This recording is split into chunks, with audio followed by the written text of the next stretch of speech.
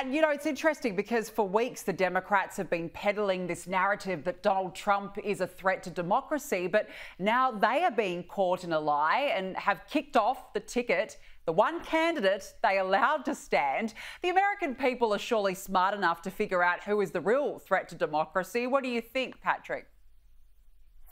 Well, I actually agree with JD Vance, uh, and I wrote about this the other week. Uh, in America, they've got the 25th Amendment, and that sort of stands, that can be invoked uh, if, a, if a sitting president is seen to be unfit. Now, Joe Biden's not going very well physically and mentally. We've all seen that. The evidence for that is overwhelming.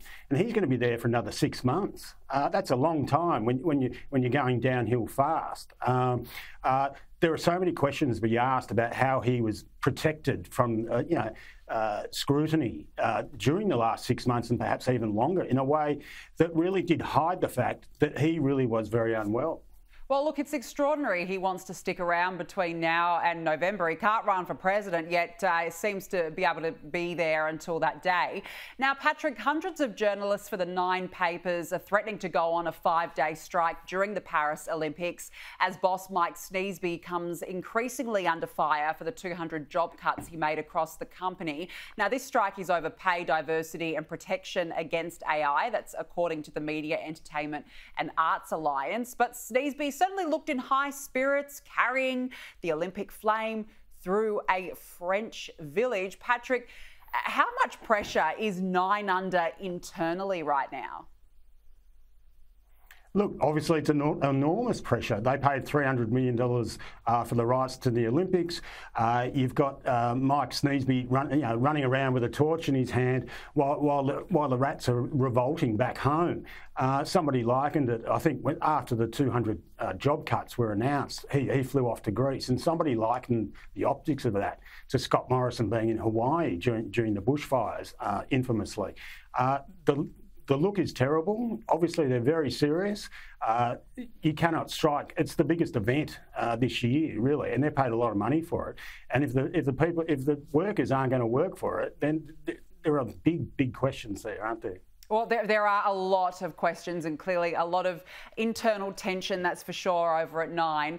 Now, the opposition is claiming that the Greens plan to tear up liquefied natural gas export contracts and divert supply to the domestic market will raise the sovereign risk and trash the country's global reputation, but also uh, send electricity prices soaring.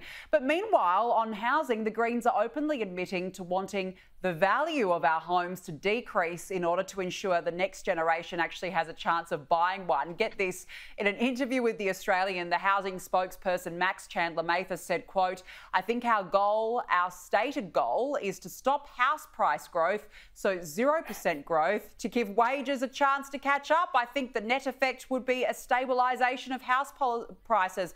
Uh, Patrick, uh, do the Greens actually have any idea what they're on about?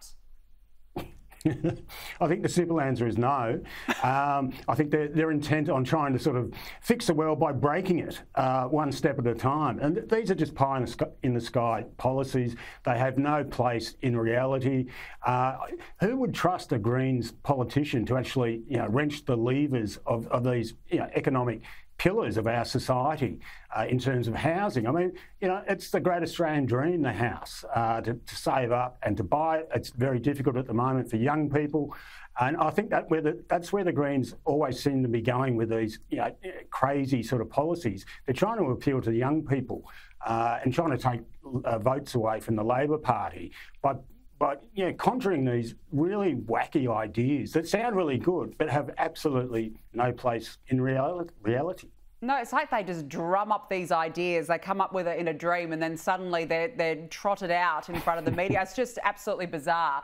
Now, look, this is a concern. Alice Springs has joined some of the most violent and crime ridden areas of the world after being included in the world's 20 most dangerous cities. The list from crowdsourced data website Numbeo listed Alice Springs at number 18 as the most dangerous city, with a crime rate equal to the Mexican city of Tijuana, which currently has a murder rate of 91.7 people per 100,000.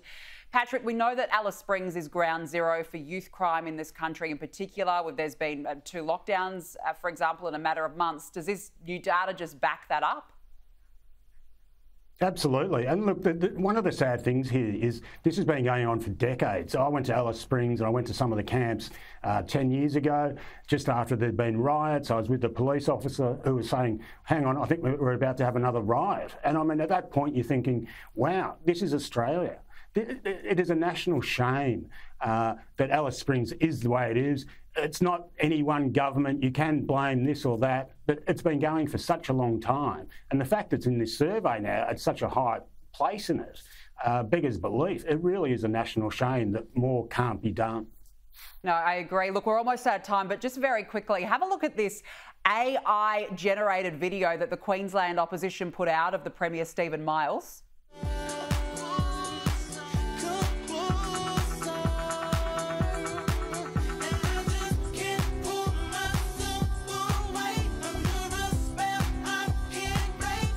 Oh, Patrick, I think it's hilarious. Stephen Miles is upset about it, but what do you think? I think it's hilarious too. I think uh, the fact that he's upset about it shows that he needs to grow up. I mean, politicians since day one have been trying to make the other side look silly, and that actually is very funny. Uh, and the fact that he's come out and it seems so glass jawed uh, by the fact of it, it, yeah. it, really does beggar my belief. Oh, I mean, yeah. this this is politics. Grow up. That's it. It is politics. It's the way it is. Patrick Carlyon, good to be with you. Thanks for joining us.